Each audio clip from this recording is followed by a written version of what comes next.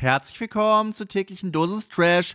Holt schon mal das Popcorn raus, es wird wieder trashig. Und diesmal geht es um Beef in der Musikszene. Ja, eigentlich nicht unbedingt mein Thema, allerdings betrifft es hier eine der größten YouTuberinnen nach wie vor, Dagi B. Und ich dachte, das wäre vielleicht für euch ganz interessant. Ich hatte auch über Dagi B bereits ein Video fertig wo es ähm, recht positiv auch über sie geht und ähm, auch Dinge, die ich nachvollziehen konnte. Da ging es um ihre Pause auf Instagram und den ganzen Druck, den man da so hat. Da habe ich auch so ein bisschen aus dem Nähkästchen gesprochen, wie es mir so mit kleinerer Reichweite auch geht. Und das ist so ein bisschen Podcast-mäßig geworden. Das habe ich auf der Festplatte, das wird es die nächsten Tage und Wochen geben. Das ist so ein, finde ich, Thema, was man immer mal bringen kann. Ich habe immer ganz gerne so ein, zwei Videos in der Pipeline, falls ich mal nicht zum Videos machen komme für euch. Und das wird es auf jeden Fall geben. Also das habe ich nach wie vor fertig. Da kam sie auch recht gut weg, weil ich finde, grundsätzlich hat sie sich eigentlich ähm, recht gut entwickelt. Ja, sie ist ja sehr früh auch in dieses Business gekommen und ähm, damals auch sehr schnell im Hype gewesen mit Lion, ähm, die Beziehung in der Öffentlichkeit als so junge Frau, ja, damals noch Mädchen, ja, 16, 17, 18 und dann als junge Frau, ähm, ja, mit der Trennung, dem ganzen Druck. Sicherlich sind da auch Fehler dabei gewesen, aber ich muss ganz ehrlich sagen, ähm, ich fand sie da eigentlich immer recht äh, weit schon für ihr Alter und ähm, jetzt ist sie erwachsene Familienmutter, verheiratet und hat auch ein eigenes Musiklabel zusammen mit ihrem Mann Eugen und die wurden jetzt verklagt und um, was uns da ging, ähm, ist durchaus interessant, denn der Rapper Art, kennen einige von euch von dem Song um, Belgisches Viertel, ähm, hat die beiden verklagt und um, ich würde sagen, äh, wir gehen jetzt hier mal das Ganze durch. Der ganze Artikel vom SWR ist unten verlinkt. Ja, ich zahle ja hier auch meine Gebühren, von daher kann man ja hier auch mal auf das äh, zurückgreifen, ja, wenn man schon das Programm nicht schaut. Ja. Rapper Art hat Musiklabel von Dagi B verklagt. Das steckt dahinter. Das Urteil steht fest, Art hat gegen Dagi und ihrem Mann Eugen gewonnen. Aber was genau ist eigentlich passiert? Einmal ganz von vorn. Art war bei dem Musiklabel äh, 23 Hours von Dagi B und Eugen unter Vertrag. Also die haben beide ein Musiklabel und ähm, sind sehr, sehr ähm, erfolgreich damit auch gewesen. Er ist Platin-Künstler bei denen geworden. Der Song hat inzwischen über 100 Millionen Streams, doch mit seinem ehemaligen Label gab es irgendwann Stress und er ist vor Gericht gegangen. Warum das? In einem Insta-Post schreibt der Rapper von heftigen Vorfällen und dass er sich bereits Ende 2022 von 23 Hours getrennt habe. Ja, das war so in etwa auch zu seiner Hype-Phase. Also ich kenne den Song auch, könnt ihr mal unten reinschreiben. Äh, durchaus ein cooler Song gewesen. Und ich habe mich auch gewundert, warum von dem danach nicht so viel, also kam einiges an Musik, aber nicht mehr so hitverdächtig. Ja, und dann kann es natürlich auch in der schlechten Labelarbeit gelegen haben, für mich jetzt als Außenstehenden zumindest. Ja, dann ist hier Art auf Instagram. Äh, die zurückliegenden eineinhalb Jahre waren wirklich krass für mich. Es sind Dinge gemacht worden, die ich persönlich nicht für möglich gehalten hätte oder hatte. Ja, dann ist hier auch nochmal ein Statement, das Ganze, den ganzen Post findest du hier. Statement. Nach heftigem Vorfällen habe ich im Herbst 2023 eine einstweilige Verfügung gegen mein Label für Label ähm, 23 Hours erwirkt. Diese wurde kurz vor Weihnachten vom Landgericht Köln auch nochmal per Urteil bestätigt.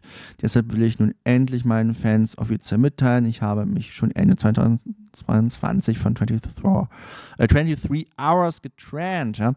Die zurückliegenden ähm, eineinhalb Jahre waren wirklich krass für mich. Es sind Dinge gemacht worden, die ich persönlich nicht für möglich gehalten hätte, wenn es genauer interessiert. Was passiert das Landgericht Köln, Aktenzeichen, schieß mich tot. Ja, dann 2024 kann ich mich endlich wieder dem widmen, was ich am meisten liebe, der Musik. Jetzt könnt ihr euch schon bald auf neue Songs freuen. Also ja, viel Glück ihm auf jeden Fall. Ich denke, der hat definitiv Talent und könnte vielleicht auch schon weiter sein. Andererseits hatten die ja eigentlich auch ganz gut anfangs anscheinend miteinander gearbeitet. Denn wie gesagt, der Song ähm, ist ja gut geschartet. Und wenn man auch Dagi B im Rücken hat, ja, die nun auch sehr junge, gerade aus der Zielgruppe, äh, wichtige Leute als Follower hat und die teilt dann mal so deinen Song, dann kann das einen enormen Push auslösen. Gerade auf TikTok und Co. Wenn man auch selbst auf TikTok sagt, ey, wir machen mal eine Challenge zu dem neuen Song, dann ist man auch ganz schnell mal auf Platz 1. Ja? Gerade wenn der Song auch noch relativ gut ist. Ja? Und dann ist das nicht unbedingt ein Nachteil, bei denen gesigned zu sein. Von daher verstehe ich immer nicht, warum die sich da gegenseitig das Leben zur Hölle machen. Aber nun gut. Urteil Art versus ähm, Dagi B und Eugen Katzagov, ähm, das ist der vollständige Name. Das Urteil wurde im Dezember 2023 vom Landgericht Köln veröffentlicht. Durch den YouTuber Klängern wird das Thema aktuell diskutiert, denn in seinem neuen Video hat er alles zusammengefasst und erklärt, alles, was genau ist passiert. Das steht unter anderem in dem Urteil des Landgerichts Köln. Art habe Anfang März 2022 dem vom Chef des Labels Eugen ein Geschenk bekommen einen mit einer roten Schleife umwickelten Mercedes. Der Rapper ging öffentlich davon aus, dass, der, dass er den Wagen for free nutzen darf. Allerdings musste er dann Leasingraten zahlen, die ihm von seinem Künstlereinnahmen abgezogen wurden. Okay, das ist natürlich dann wirklich Quatsch, wenn man sowas als Geschenk bekommt. Hier von wegen, ja, hier komm, wir haben jetzt ordentlich Geld mit dir gemacht, jetzt kriegst du mal hier den Bands mit roter Schleife und dann muss man die Leasing, also sollte man ja vorher auch mal fragen, willst du das überhaupt haben? Und so weiter und so fort. Ja.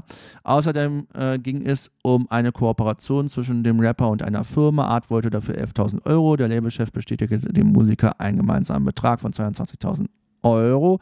Doch bekommen hat der Rapper am Ende nur 2400. Okay, das ist dann schon happig. Ähm, das Gericht hakte bei der Firma nach und dabei kam danach demnach raus, dass der Vertrag gefälscht gewesen sein soll. Also auch harte Vorwürfe und krass, ja.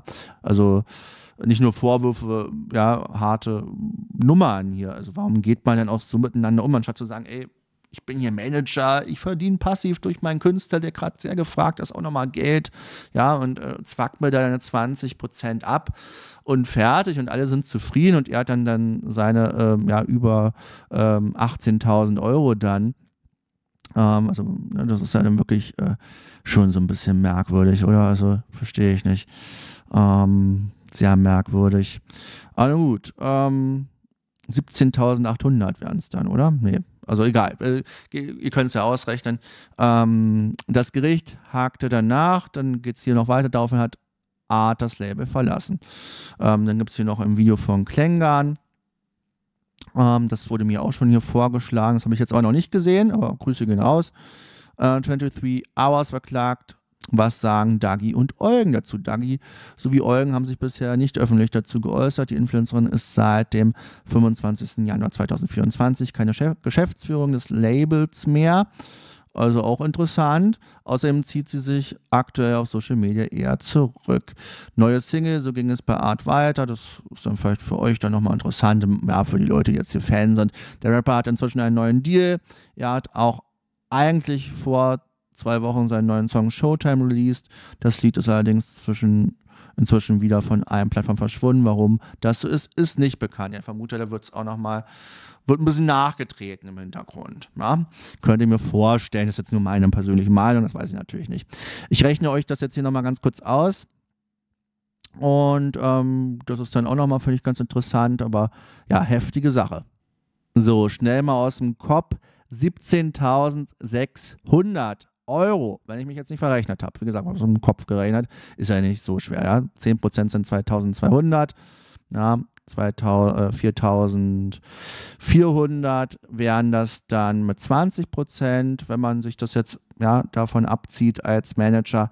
Also müsste der Künstler eigentlich, finde ich, was fair wäre, 17.600 bekommen. Und dann denke ich, wäre das auch vollkommen in Ordnung für alle gewesen.